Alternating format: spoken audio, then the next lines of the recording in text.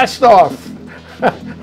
four, four o'clock rock here on Think Tech. Hawaii, the state of clean energy, every Wednesday from now until eternity. That's what we want to keep on doing this. We got to follow the action, not only here but everywhere. We got to know what's going on in energy. So our guest today, to my left, uh, Olin K. Aloha Lagon. Aloha Jay, using my middle name. We're using middle name. Awesome. Middle name today. Okay. This is going to be interesting. From Kanu, Hawaii, and what's the other company? Shifted energy. Shifted Energy. Fabulous. Got it. Okay. a- and then we have Derrick um, Takeshi Sonoda. That's right, Murray. Okay. He's representing Shift Shipment today. Welcome, man. Oh, it's going to be hilarious. and uh, and our special guest from Hawaii Energy is uh, Ramsey Kanoa Brown. You got it. All right. Yes. You take the you take the tiller now. All right. What are you doing? I'll drive. Thank you for having all of us. Thank you for having Hawaii Energy for your Negawatt moment today. Um, I wanted to talk about renters, and specifically because 50% of our families in the islands rent their homes and don't own them.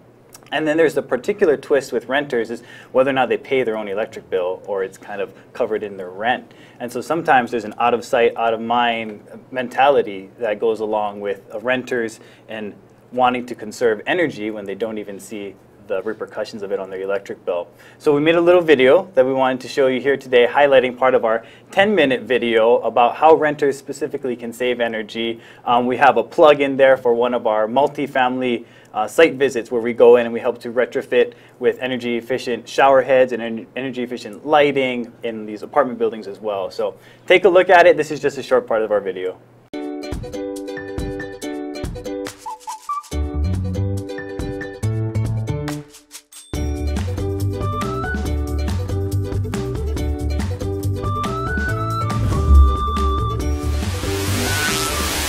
We get a lot of questions on what can I do as a renter to save energy? And just as importantly, is it even worth it? So today we have a new segment called Ask the Expert. And since we're talking about renters today, we decided to bring in our resident apartment expert, Bob the Healing. Bob, tell us how a renter family can save on their electric bill. Well, one of the things that I found out uh, very quickly is that their clothes washing habits, in terms of uh, washing clothes, and I found a lot of them, a lot of them use hot water still to go ahead and wash their clothes, and that's not necessary because today's co- uh, laundry detergents they're designed for cold water wash. Uh, it just occurred to me that these tips can also be used for homeowners as well. You don't have to be a renter. So, Yeah. a lot of the unique tips that Bob gave us are going to be on our website and more information. So, check us out and you can download these tips at hawaiienergy.com/energize. Very nice. Okay, we're All back. We're live. right. Ra- So Ramsey, what was that? Explain was that. awesome. What, what happened there? So we got to interview one of our residential experts, Bob DeHelig, on part of those multifamily and even in-home, what you can do, tips and tricks. He talked about how you can save on your laundry machine, your washing machine, even just simply as washing with cold water, because a lot of these detergents are made for high-efficient loads that are cold water. Uh, nowadays, so you can move away from using hot water. Even which way your ceiling fan should circulate. And if you want to know one of the most efficient ways to draw in the cool island breeze and keep the hot air toward the ceiling, check out our video so that you can learn which way you want your ceiling fan to rotate and how to switch it. Okay. Wow. We have questions from the jury now. Owen, what, what kind of cross-examination do you want to put to this witness? Yeah. Uh, well, actually, I want to see the rest of the video. So how do I see I know, it's rest of the exciting. video? Yeah, where do we go? Yeah. Great question. Um, HawaiiEnergy.com, Okay. www.hawaiienergy.com, and it's live and it'll be in the top right of the page. Can't miss it. All right. And I saw some uh, gadgets. Are those gadgets for sale? Are they uh, part of a kit or? We do have a kit online. It's a $10 kit, and you can get way more than $10 worth of equipment. There are a smart strip that you can learn more about, LED lights, and I believe shower head fixtures as well for low flow shower heads. All right, Derrick, how about you? You have No, so cross-examination. ju- anybody can go and get them? Anybody, as long as you pay an electric bill here under HECO, MECO, or HELCO, you can definitely apply and uh, put in your account number Yeah. and fill out some some of your basic information, your address, so we can mail you the kit. Oh, you mail it? We mail it Oh, to I you. thought we had to pick it up. Oh, No, you no, it comes to your Oh, doorstep. for ten dollars? You'll probably forget, and then you'll get this gift in the middle of uh, the springtime, and you'll save energy right away. And what a shipping and handling Yes. cost? No cost. No It's cost. free Wow. $99. yeah. nice, Right. very Oh, for $10. Special addition. gift. It's a good deal. Well, thank you, Ramsey. That's Thank uh, you, Ramsey. Well, Ramsey thank you for your- K- Kanoa Brown. Letting me join your wonderful Hello. guest. Kainoa. Kanoa, Kainoa. I know it's Kanoa. Kanoa. Kanoa. Kanoa, okay. Thank you very much. We're going to take a short break. We're going to come back. We're going to talk about cybersecurity and energy. Thank you, Ramsey. Thank you, Marvin. And you guys are doing great. Thank you, Jay. Aloha, my name is Joe Kent, and I'm the Vice President of Research at the Grassroot Institute of Hawaii. The Grassroot Institute is a public policy think tank, and we try to build a better economy in Hawaii. And you can see us on the TV show E Hana Kakou on the Think Tech Hawaii Broadcasting Network every Monday at 2 o'clock. We'll see you there, and let's build a better Hawaii together. Aloha. Hello and aloha. My name is Raya Salter, and I am your host for Power Up Hawaii, where Hawaii comes together to talk about a clean and renewable energy future. I'm so excited to be here with you to talk about some of the most important energy issues of our day, and most importantly, who can we bring together? Energy engineers, artists, musicians, accountants, advocates, young people, who can we bring together to talk about how we can make this path together by walking and reach 100% renewable energy? Please join me Tuesdays at 1 p.m. for Power Up Hawaii. Aloha, I am Reg Baker, and I am the host of Business in Hawaii with Reg Baker. We broadcast live every Thursday from 2 to 2.30 in the Think Tech studios in downtown Honolulu. We highlight successful stories about businesses and individuals and learn their secrets to success. I hope you can join us on our next show on Thursday at 2 o'clock. Until then, aloha. Okay, we're back. We're live with the second part of our show today, Hawaii, the state of clean energy, talking about cyber, cybersecurity and energy here in Hawaii with uh, Olin Lagon. Make that Olin K. Aloha Lagon, okay? And Derrick Sonoda, make that Derrick Takeshi Sonoda. Great to have you guys here. So let's identify the problem, okay? It's been in the news, as you mentioned, Derrick. Uh, we've seen a lot of hacking lately. We've seen questions about security, cybersecurity everywhere in the world. There's a, you know, a whole you know, international geopolitical industry growing up of people who just love to, you know, tamper with our systems, and that would include energy, wouldn't it? So what's the risk and what's the status? And tell us everything, okay? Even the classified part. All right, classifieds. I'm going to switch hats here. Yeah. So we've installed about 2,000 devices considered smart energy devices across the state here in Hawaii. And so we have some experience with both the security side and stuff. So I think there's really two kinds of risk, Jay. One is a risk that someone can get this information from your smart energy devices from its source, like if it's a smart meter or a smart thermostat. And I think that risk is really low. Like for them to hack into these uh, proprietary radio frequencies and intercept them, unencrypt them, and there's probably you know hundreds of thousands of these packets flowing around at any given time. That's not very. Who uh, cares? Yeah, it's not going to happen. Even if they did get a packet, they, they can't unencrypt it. Yeah. What the risk is is that when you get this data and you import it into some kind of software, like say you use a, a smart thermostat and then you have this third-party web app that is has the credentials and takes that data in. Now that's where I think the vulnerability for your system would be, because then that system would have access to your data, maybe your address, so they can triangulate where this device is. So I think the risk really for these smart energy devices is with these third-party apps or third-party providers that need to make sure that the data that they collect from you on your behalf is rock solid and secure. Let me add one thought. I mean, I don't know if this is part of, you know, the program, but I worry about some mm, foreign national uh, actor, nation actor, uh, trying to shut down our systems. You know, make take take energy away from our society. I mean, one way they could do that is by you know dousing the power plants somehow, uh, or cutting you know critical boxes that deliver energy to our homes. But I suppose if you have all these black boxes deployed out there, and there's one protocol that they could screw up somehow, they could terminate service to all of those houses in one stroke. Is this is this of concern? You know, with the smart meters and everything else, we've got two different components from my viewpoint. One is going to be for the commercial clients, and another ones are going to be for the residential homeowners and the condominiums Okay, and all of those. all right. So, in the area of the smart meters for the residents, which is what we think we're focusing on a little bit today, is how much information is available and what will it do to your life if somebody were to tap into it. Mm-hmm. I just had some conversations with some people on the neighbor islands who have had smart meters installed. And you know, it's a big concern up in front when they first get it. And after so much time, the concern just disappears. Didn't that come up in Kauai? There were people who wanted to opt out, Oh yeah. uh, who did opt out, Who right? did. From the KIUC system. They didn't want black boxes Yeah. because they were afraid about an invasion of privacy. Yes. And that's what we're really talking about here in this in this context. Well, let's talk about what can happen if you get that information. So, Yeah. say I have your water heater, a smart water heater, and I get the stream of data from your home. What can I do? I can tell when you're not home. That might be a good time to visit with my uh, sort of skeleton key. or if you um, showed that somebody is home who shouldn't be home, like say your significant other is looking at the data, like who's home on Tuesday in the middle of the day, like there's a lot of usage here. So someone's coming home, either not going to work or doing something else. Or you might be an indoor farmer, for example. Like there are a lot of different things that might show Doing up. tropical plant growth. Medi- Oh, yeah, medi- you know, so- medical marijuana, of course. Right. Oh, that's what we're talking about. But I think you know uh, the risk for these devices to, to invade your privacy does exist, but then to a certain extent, I think it can be profiled. But then it requires software to guess what's happening with these devices, and so Yeah. it's, it's not.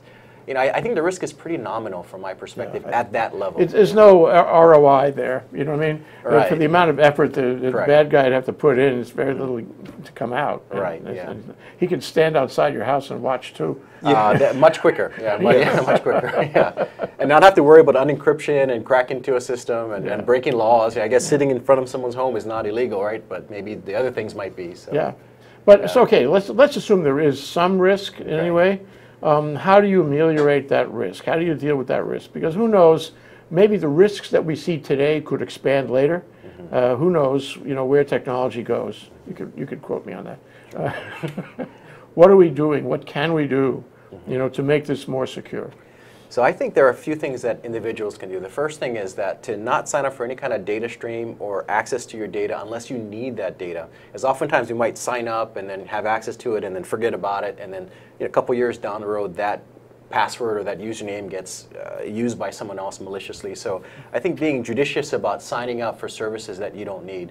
I think uh, like too, what? What services might you know, like for be? example, if you get a smart meter and then there is a program to try and guess what energy you're using and in what way, and, uh, and then you go onto a Yes. portal to look at it, like if, if it has to that, have access. It yeah. has to have access. Then that would have both your who you are, maybe your address, and, and your usage patterns. And so if you don't need that, maybe you know not sign up for that. And Yeah. I think the the bigger risk is we love really simple cat-like passwords. And so people have to get used to it. Just you use creating, cat also? you know, oh, I use like that was you know, unique. ABC one two three or something. You know? But I think we really got to good at, get good at managing our passwords because they become so vital to, to storing stuff. So I think getting a password manager. I think everyone should use a password manager that is encrypted, and you have a different strong password for all these different services. You don't have to memorize it; just memorize, you know, where you get access to that password. So that's a couple of things that I think people can do. Yeah. Well, just a footnote to that, you know, I think the guy who invents, there, there are a number of password managers on the market now, and, and you can put your fingerprint down and maybe even your, your cornea, yeah. whatever it is, maybe a little DNA test, who knows what. um, but, you know, the guy who figures out a really clear, clean, easy way to control passwords and access, including the passwords you're concerned about here now, um, is going to make a million billion. It's going to be a big deal because I think all over the world people are aggravated with the number of passwords they have to have and the changes in password and all the problems and the risks of passwords. So, you know, if you have nothing else to do, Owen, why don't you invent that, okay? Maybe, you know, I've got a number of patents, so maybe you just sparked some imagination going on, and uh, we have worked with, with passwords before, and it, it is broken. It is really broken. It's coming, the time is coming. Okay, so what about the, um, what about other things can be done? For example, if I'm the manufacturer of the black box, and there might be competing black boxes here. Right. Uh, what would I want to put in to improve the security prospects of my black box? So we have a black, black box that we, we, for our work, we put on uh, in homes. And so one thing we do is we never allow anything to, to call into the black box. So these black boxes should never be able to be reached from the public internet ever. And that's one big layer of security. So for example, if we need to talk to the black box, it has to come and talk to our secured server using encryption and a, and a sort of encryption protocol that is only known to us. And so that way, you know, no one can go and try and covertly take over that machine. And so the, these systems have risks as well. So if, if it stops working, you know, we can't actually get to it. But I think that's one layer of control that that is pretty common or easy to use, but not everyone's doing that. So Yeah, but it's important in the Internet of the thing of, the, of things, you know. Right, right. Because, I mean, it's not it's not just applicable to uh, these energy devices. It could be millions of things uh, that are all Mm-hmm. Right. getting onto the internet. And if you could figure out a way, uh, the handshake, the encrypted handshake, whatever it is, to freeze that unit out of, of, a, of a hacker, well, that's a real positive thing. So, how much of what Olin is saying do you agree with, actually? I agree with all of those things, but uh, a fundamental thing that I would like to ask your opinion on is when you go out to the general public, the residents, how literate are they when it comes to computer terms for security? Because if I say, tell me your IP address, Right. or if I say, use a secure mm-hmm. um, signal, mm-hmm. would they know what that means? Because we're communicating Yeah. that, but I'm always wondering, mm. do they really understand what I mean? What's a secure Wi-Fi versus a non-secure Wi-Fi? Mm. Is there is there a level of concern where they're just not understanding the real meaning of why this is important? Yeah, I think security literacy is pretty low. My sister from Hilo called me this morning, had a few technical questions. I think that the general public may not really understand all these terms, and it's really easy, unfortunately, to fool people.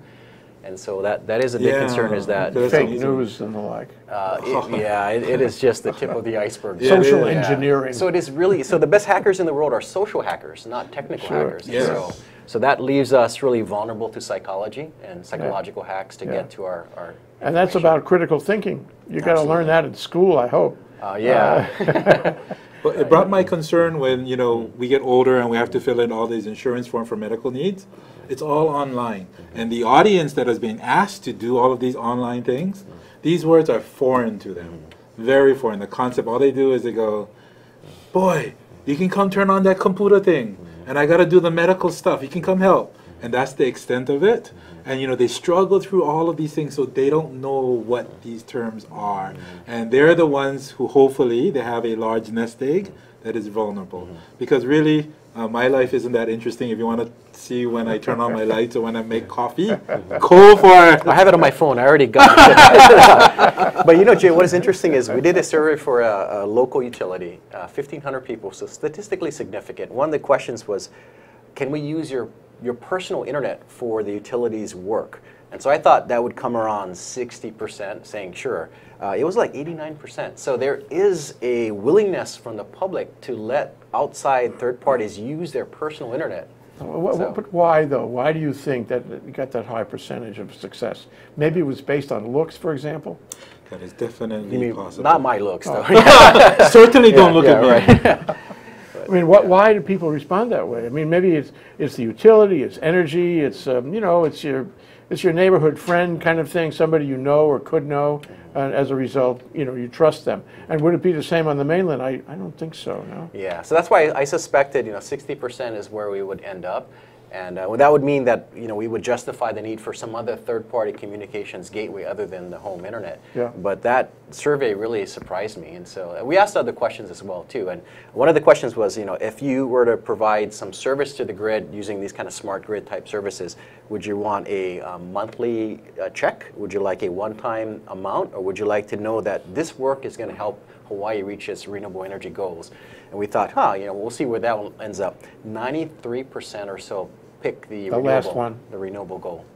Not Isn't that money. something? Yeah, and so it, it Well, told, the that's survey a told state me. with a big heart, isn't it? Exactly. It you know, is. Aloha was there. Was that? Yeah, you can use my internet, uh, and I don't know everything It's about okay, it, yeah. and I just want to know that you're going to be helping with renewables. yeah, and so that was really positive and Yeah, powerful. that's really terrific. So, you know, uh, you know, you mentioned the black box, and, and these devices, uh, I'm sure there's more than one manufacturer out there. Some of them may be more secure than others. Some of them may have, you know, software or hardware that, that protects you from, you know, being hacked. Um, do you, I don't know the answer to this, but are people going to have the choice going forward? Uh, can can they say I want this one because it's more resilient or more secure rather than that one? Is this going to play in the decision process? I can answer that, or you can. You know, one of the things that I'm more worried about is let's say they do get some black boxes or some devices. Those devices age so fast. Yeah. So the security systems get outdated really quickly. Yeah. So what happens if you have a smart appliance in your home You bought it this year. You forget that it's a smart appliance. In three or four years, no one updates this thing. That becomes a point of vulnerability over time. Mm-hmm. And you know, our lives are so busy today. We just forget that we have things plugged in, and we call those phantom Sure. loads. You can imagine all these smart devices. So my concern is, yes, we have all of these different devices made by different companies, but we only touch a few of them. And those are the ones we're going to update our cell phones. When was the last time you updated your smart TV? Never. It- But it's, it's, it- well, let me say, it's just as smart today as it was the day I got it. But it's no smarter. So we believe all the fake news is going around. They can watch you now. Um, some of the federal government people can watch you at home using your TV. Oh, they can listen to you and all of those things. Yeah. Um, you know, we got to wear clothes now all the time when we're walking around at home because of devices. And So- that's been in the news for quite some time, yeah, Yeah. those, those devices. Yeah, so, I mean, how do we, how do we deal with this kind of thing? You know, you make assumption that it's okay, it's not a threat, you know? It- It's just a home, home device, it's, a- it's a consumer home device, it's not gonna bother me. And yet, I think we're gonna have invasive, invasive experiences like that Yes. going forward, including on computers, by the way. But one of the things I want to just kind of friends.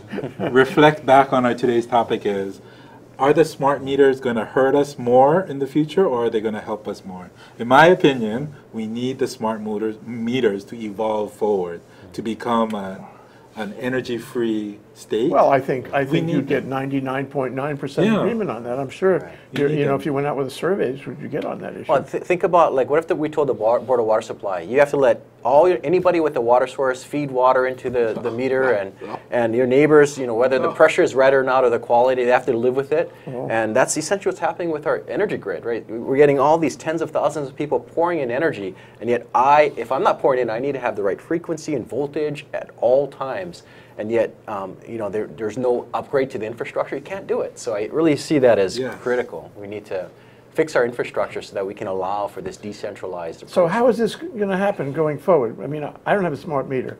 I I also haven't upgraded my TV.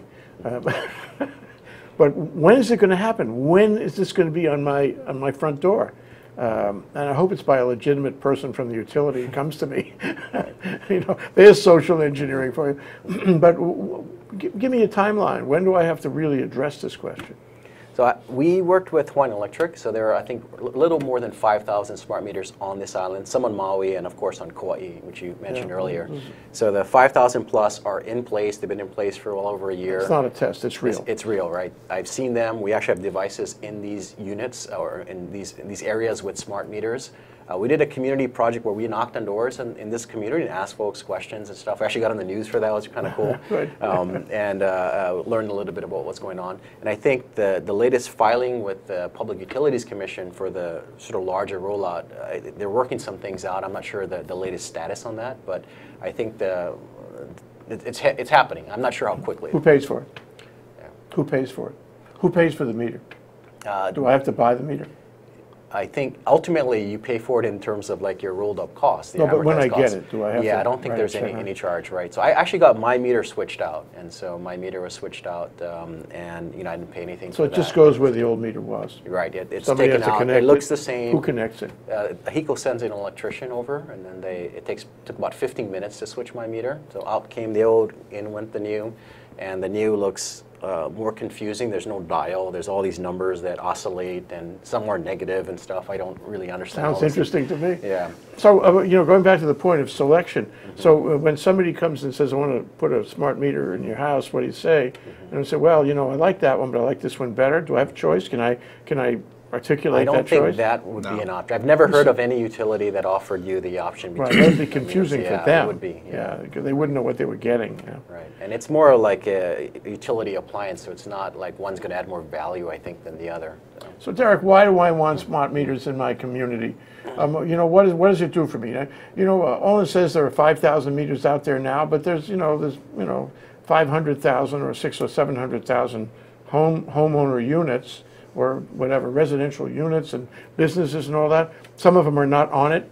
Um, do I have to have them all on there? Uh, why, why, why should I do this? Why, why, why, why should So I do you ask a really great question, and a lot of times when I talk to people in community, um, it's only a few people like Olin who really understand what's going on.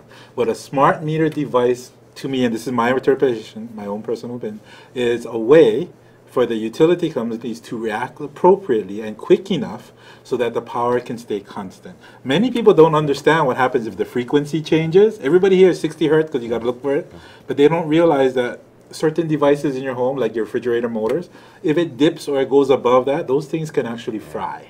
Yeah, there's some components in your home that just don't like it, and you'll Why have doesn't some the bad things. utility put all, why didn't they build the infrastructure inside the line, you know? At, at the central office somehow, power generation plant, and do it all there, just one box. You know Handle what. I've always wanted when I was um, like in high school? I've always wanted a Lamborghini. Those things fly. And back then, and this is a long time ago, there were a lot of expensive cars. I mean, you're talking like, well, back then was 200,000 was a lot of money. So those fast reacting um, generators, the way that I understand it, they're not that efficient. The older, slower reacting, they're far more energy efficient. They use less fuels. And those are the ones we want. But the fast reacting, the Lamborghini devices, they're going to suck up a lot of power and fuel Yeah. to be so reactive. Yeah. So if the utility can understand what's going to happen and predict it better, they'll be smarter and they can control the prices from increasing. Well, what's interesting is this is a statement I, of, uh, I support the community. Yeah. I want to be a member of the community. Yes. I'm not doing this for me alone, it has no big effect for me alone. I'm doing it for everyone. I'm part of a, a collaborative effort by everyone. Am I right? Well, That's what this is, isn't it? Well, here's one example. There's a World Health Organization study that looked at smart meters and said, you know, so what? What if we install these? The like what Derrick was saying, if the smart meters are in place, the utility can be more efficient. So you got to get voltage at the right frequency and voltage at the last home on the line. And so you, you don't want to overpower that line. So with the smart meters, you can really dial it perfectly. And that dialing perfectly saves so much energy and therefore fossil fuels being burned less that you can quantify that in terms of lives saved each year. And so WHO came out with a pretty massive number of lives that would be saved each year if we adopted smart meters. Okay, we have one minute left, Olin and Derrick. Yeah. Um, and, and you could talk to camera one. You want to leave a message with people? This is your big opportunity. What's the message you want to leave with them today? You want to go first? Yes, Yeah. what I ask everybody to do is learn a little bit more. Like you learn a little bit about money, learn a little bit about energy, learn a little bit about your internet security. Those precious few words can mean a lot of reduced headache in the future. Just take that time. It's for you. It's not going to go away. It's That's for you, but it's also for the whole city, the whole state, too. It's for your neighbors. Yes. It's for everybody, all of us, yeah? And mine is go to your local hardware store or uh, you know Longs and uh, stuff like that, and buy these mechanical timers. They're five dollars, and put them on your, your Wi-Fi systems, He's your so right. DVRs, uh, your gaming systems. All these things that suck energy when you're sleeping. That's silly. And so you know you don't need Wi-Fi when you're you're, you're sleeping. So uh, if you got kids, set it for 8 p.m. They're just shut off, right? So uh, at five bucks each, you'll be saving so much energy and making your home more secure because you won't have a Wi-Fi signal broadcasting at 2 a.m. for hackers That to is use. perfect. You guys are great. You are a statement, an endorsement of the common good here in Hawaii. Thank you, Olin. Thanks. you, Aloha. Derrick. Thank you Great for to have Jay you. Murray. Yeah. Murray!